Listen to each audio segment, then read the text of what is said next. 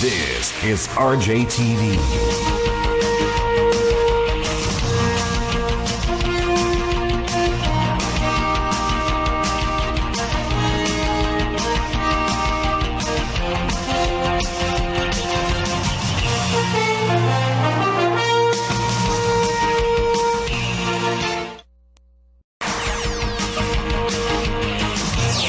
This is RJTV.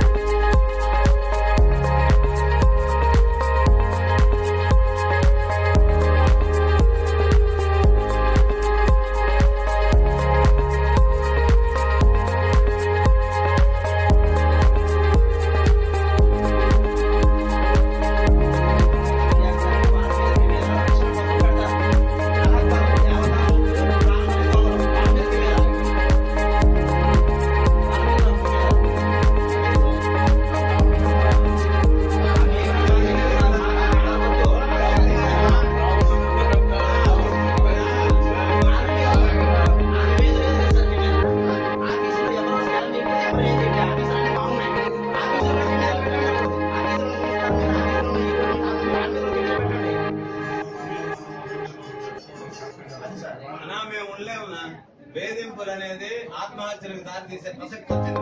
మా వయసులో సగం వచ్చినది మా బిడ్డలకి నా గుడ్డలు ఇప్పించింది కాలేజీలో పిల్లకాయలు పేపర్లో వేసుకుంటే పరిస్థితి ఏంటి? కాలేజీకి పోయి ఉంటారా? చదువుకుంటారా మాకు?